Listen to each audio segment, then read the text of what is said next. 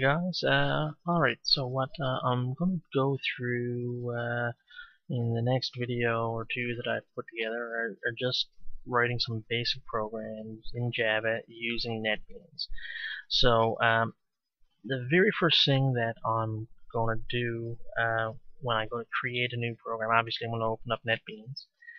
I'm going to go up to File, I'm going to say New Project,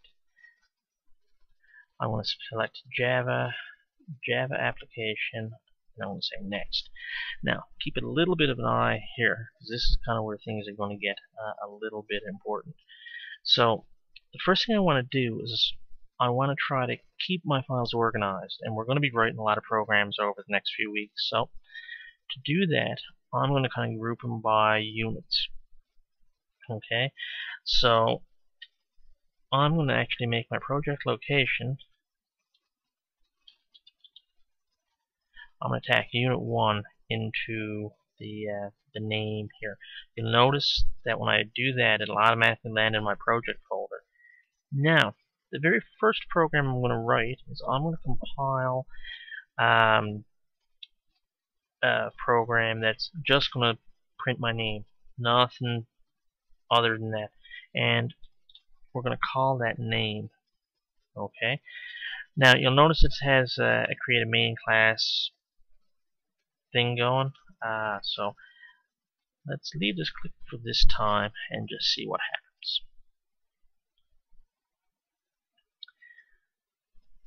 Alright, so the system goes through and churns out a bunch of stuff, and all of a sudden I have a basic shell of a program for me to work with. Uh, you guys have done some stuff with uh, C Sharp in the past. It, it's kind of similar to that. So when we take a look at what what do we have on the go here, the first thing you're going to see is this package name thing. Now this isn't required, but it has to do with some of the file structuring of what's going on. Um, we're going to do this example with that in place, and then the next example we're going to do, we're going to take that part out. So when I want to print something off here, this becomes really simple because I just want to do a system call. So system, and I want to. I have my three streams. If you think back to Unix, the the standard in, standard out, standard error. Guess what? Here it is again.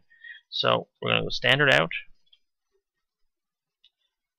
and I'm going to use print ln. Now the print ln um, is just print line, so it actually does a carriage return after the print symbol. Uh, not important for this particular example, but will be important when we uh, we try to do multiple print things. So here, I'm just going to write out my name. So,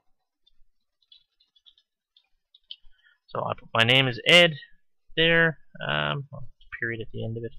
And the last thing I have to do, and this part is very picky, is I need to tack in a semicolon at the end of my line. That tells me my line's done. So, um, only thing we've added is this one line that's kind of highlighted here now. So I've added system.out.println uh, in brackets, quote, my name is Ed, and then I finished everything off with uh, a semicolon to end my line. Um, everything else is in this. I'm just going to run this now to see what we get. When I run it, you'll see that it says run down here. My name is Ed. It built successfully. It took almost no time. So at this point, that program is done.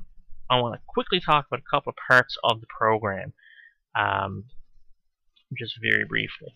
Now, this package name thing, we'll skip for now will come down. So public class name. So notice that my file name is capital name.java. My class name is capital name. When I created my project in the first place, uh, it set that part up for me. Now, every pro every program you write at some point is going to need to have a main function or a main method right here. Um, again, I'm going to say public static void main. So public means it's public. Static means that it it's it's kind of set. Um, void means the main program doesn't return a value. And then these two things here, string, is an array of strings, and then a value argument. So that means that I can kind of pass arguments to my program. Uh, we'll get into bits and pieces of that a little bit later. This is how all the programs are going to pretty much start looking uh, when you start to run them here. Then the last thing that you're going to see is the one bit of commands that I'm actually running inside of this which is uh, system.out.println uh, and then my information. So all of that together uh, allows for you to write again a very simple program. So next thing we're going to do is we're going to create a new program. So new project. Next. Now, again, notice Unit 1's already there, so we don't need to do that a second time. When we start to do some Unit 2 stuff, we'll change that to Unit 2. Um, so this one here, we're going to call this one address. Now, this time, I'm going to see this create main class. I'm going to just take that out for now. And we'll finish. Alright, so now we'll go into here. What you notice is that by not having that main class in there, we don't get to see that first file. So at this point we're going to go, oh well, that's no good. So I'm going to come down, I'm going to delete that, and I'm going to delete it from my folder tree as well. So that's all I have to do. Then it'll clean through that tree for you, and I'll do it again. New project, application, and I'll call this one address. This time I will tell it to create the main class for me. And I'll say finish. And sure enough, all my information's here. Now, in this particular case, um, this is an example from number six from your textbook. Uh, I want to uh, write and compile a um, uh, a program that's going to display my name, my address, my city, state and zip, or province and area code um, on three separate lines on the screen. And uh, it's going to have to be called address.java. So my creation part already took care of the first part of this. So now all I have to do is kind of the rest of it. Again, system dot out dot print. And again, I'm going to use the print line for now. And we're going to say, uh, where am I? What do I need? I need name. Oh.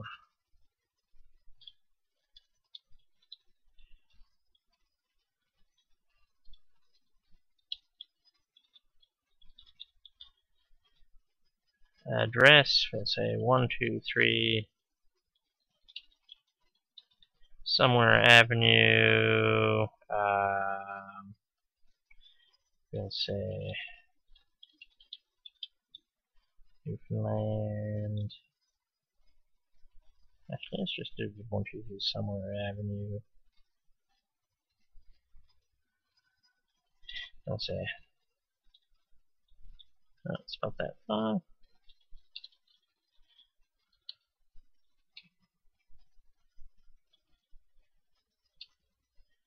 Um, say Newfoundland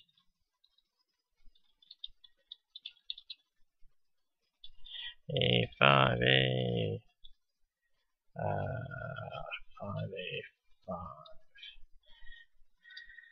Okay, so that I think we got everything there. We got city, province, zip code, full name, street address. So all of that information is there. At this point, I'm just going to go to run it.